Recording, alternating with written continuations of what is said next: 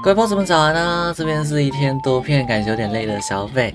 那今天想要带给各位，这是 Rebecca 更新中的第二把新武器，也是第一把的居族投掷类副武器微弹。那获取方法呢？目前也是一样，只能透过在官网中购买支持者组合包，或者说在游戏内使用两百批获得。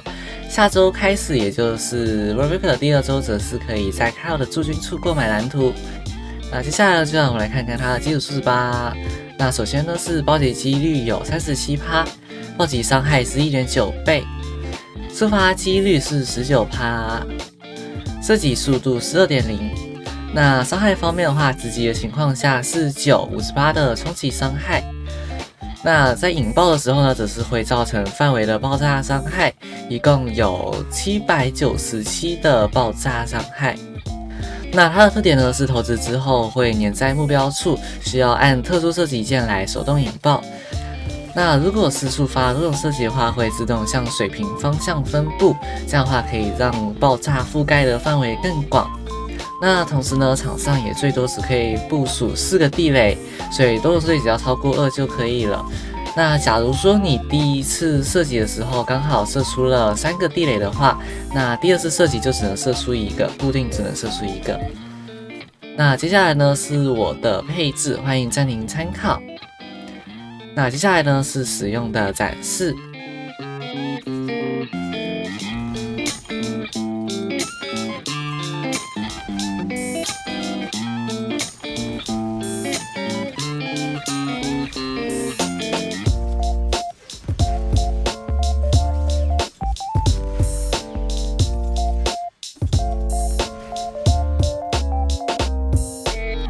那以上呢就是使用展示以及我的配置啦。嗯，怎么说呢？虽然说它的暴击还有伤害都非常非常非常的高，但是因为伤害只有爆炸，同时射速又慢哦，所以就没办法像是沙皇或者是布拉玛那样依靠快速射击或者说是分裂爆炸来叠病毒打伤害哦。那对于高等级高护甲的敌人来说的话，伤害看起来就会明显不够。不过它的优点呢，就是爆炸范围非常的广，那伤害来说的话也不算是低，所以对付护甲不高或者说是低等级的关卡的敌人来说的话，是一把清怪效率非常高的武器。好啦，以上就是今天的内容啦。那它伤害表现上面，我会给它三点五颗星，推荐指数是四颗星。同时也欢迎各位在评论区分享你们的配卡，或者是讨论对这把武器的看法。那如果喜欢影片，记得个喜欢。如果不想要错过更多内容的话，记得帮个订阅下小铃铛哦。如果怕 YouTube 的开台通知或者说是新影片通知不够稳定的话，可以加入小北的 Discord，或者说是追踪小北的 IG，或者说是推特，里面都会有新影片和开台的通知。